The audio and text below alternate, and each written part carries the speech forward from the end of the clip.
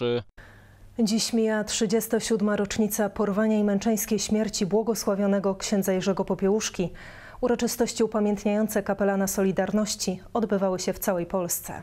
19 października 1984 roku komuniści uprowadzili, a następnie zamordowali księdza Jerzego Popiełuszkę.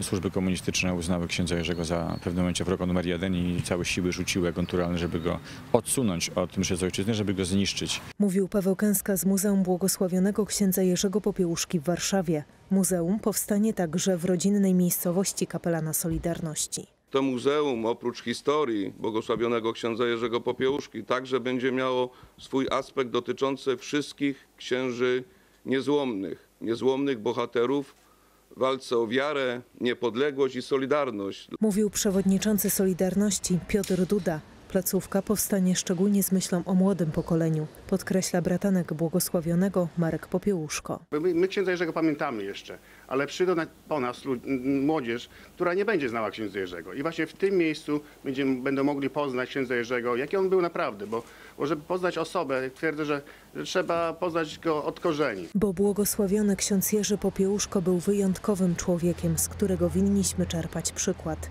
podkreśla prezes IPN-u Karol Nawrocki. przede wszystkim przywiązanie do Pana Boga, gotowość służenia Panu e, Bogu, chrześcijańskie miłosierdzie, otwartość, służba drugiemu człowiekowi, miłość do Polski. Dziś pamięć błogosławionego kapłana męczennika uczczono w wielu miejscach w Polsce. Centralne uroczystości odbyły się w sanktuarium księdza Jerzego Popiełuszki na warszawskim Żoliborzu. W swoim nauczaniu kierował się on zasadą wsłuchiwania się przede wszystkim w argument wiary.